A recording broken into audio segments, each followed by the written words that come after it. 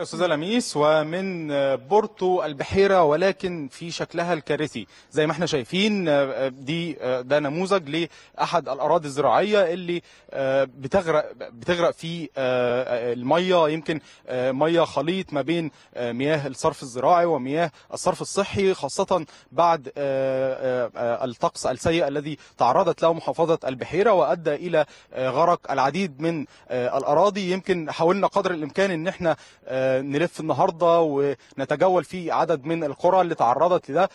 رحنا قرية المسعدة اللي إحنا موجودين فيها دلوقتي. رحنا قرية الصعايدة.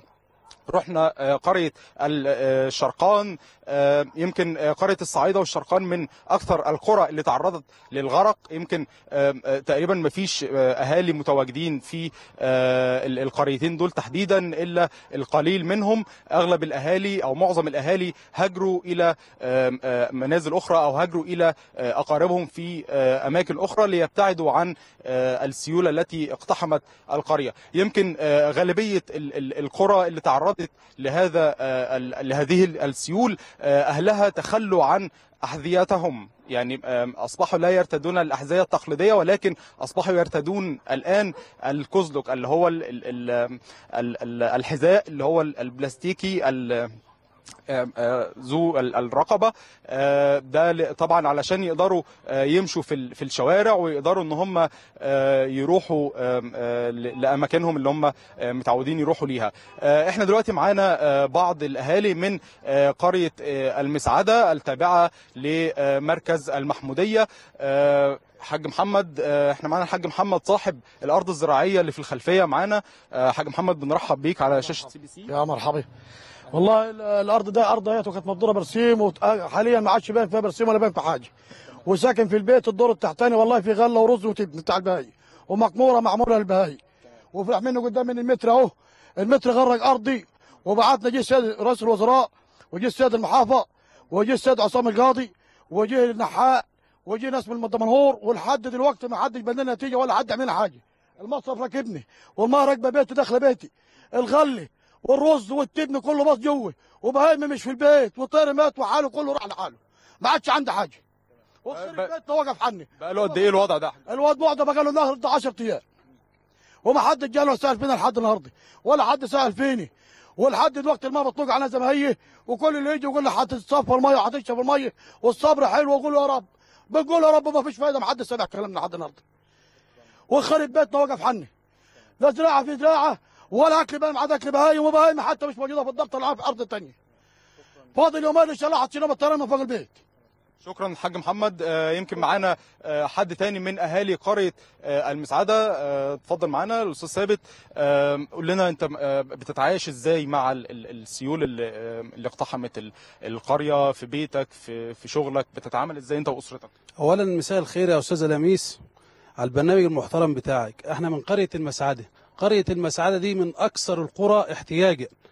لا فيها صرف صحي لا فيها تعليم التعليم فيها نهار لا عندناش مدارس. عندنا الأولاد بنشيلوها نودوها المدارس. ماشي؟ بنشيلوها على كتفتنا نودوها المدارس. ما عندناش صرف صحي. المياه اللي عندنا ديت مية شتاء مية أمطار مية أرض زراعية. ما عند بتصرف علينا في البيوت. ما عندناش حاجة يا جماعة خالص. إحنا بنناشد الحكومة. تبص لقرية المسعدة من عين الرحمة. من عين الرحمة تبص لنا. البلد ديت ما فيش مسؤول بقالنا 100 سنة ما فيش مسؤول نزل البلد دي. لا فيها طريق لا فيها صرف صحي لا فيها تعليم ما فيهاش أي حاجة نهائية خالص. ما فيش مسؤول بيجي لنا محافظ البحيرة لا رئيس وزراء لا رئيس مجلس مدينة لا رئيس مجلس قرية. ما بينزلناش. نهائي خالص. أستاذ ثابت عايزين نعرف منك بس ال ال يعني ال السيول اللي حصلت دي هل يعني دخلت على المنازل أو غرقت المنازل والأراضي الزراعية بس ولا الوضع إيه بالظبط في قرية المساعدة؟ يا أستاذنا الفاضل ما فيش عندنا بيوت اسمها مش غرقانه عندنا الدور الأولاني في البيوت غرقان مية. الناس الناس بي الناس بتشيل أطفالها بتطلعها يا جماعة بت... جايب لنا سلالم خشب يا جماعة بننزلوا عليها. ما فيش لا الطرق ما فيش طرق خالص عندنا في القرية. طرق ما فيش طرق خالص. كلها مية. ما فيش طرق أساسا.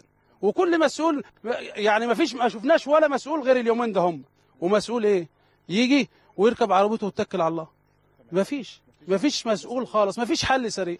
إحنا بنناشد السيد رئيس الجمهورية يبص لقرية المسعدة. يعني قرية المسعدة عموما في وجه في وجه بحري دي أكثر احتياجا يا جماعة. مفيش مسؤول خالص نهائي مفيش مسؤول خالص نهائي بيجي قرية المسعدة. بصوا لنا من من عين الرأفة يا جماعة. قرية المسعدة بصوا لها من عين الرأفة. اعملوا لنا صرف صحي. اعملوا لنا مدارس لأولادنا نتعلم فيها. شكرا يا ريس. شكرا ثابت. يمكن معانا آه، حد أخير من أهالي قرية المسعدة. يمكن قرية المسعدة أستاذة لميس للتنويه تعد من أو مصنفة من القرى الأكثر الأكثر فقرا آه، في مصر. آه، اتفضل آه، أستاذ سامي آه، من أهالي قرية المسعدة قول لنا الوضع عندك إيه في البيت والسيول؟ مساء الخير يا أستاذة. أنا سامع عوض سلمان عيسى من قرية المسعدة مركز المحمودية بحيره المسعدة دي مش قرية صغيرة قرية كبيرة وعمودية بلدين عزبة حرجان وعز- وعزبة الحسينيه وبالنسبة لو اتكلمنا عن المطرة طبعا قطع الطريق. الطريق نفسه مقطوع. هكلمك عن إيه؟ أرض ماتت زرعة ماتت حبوب بتاعت ناس مخزنينها أكلها وشربها كل ده راح. وساح وضاع في المية الطرق مقطوعة انتهت الأرض انتهت المزارع ماتت فراخ الناس ما عادش عاد عارف أي حاجة. الطريق مقطوع مش عارفين نعدوا. شكاير الرمل عاملينها نمشوا عليها بالطولونات.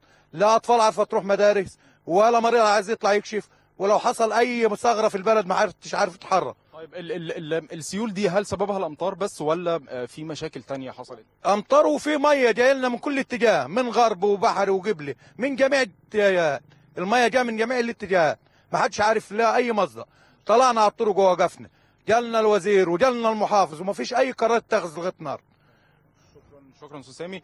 آه، استاذه لميس يمكن ده كان آه، آه، مشهد سريع من بعض أهالي قرية المسعدة في محافظة البحيرة وده الوضع زي ما نقلناه. وعودة إلى الاستوديو مرة أخرى.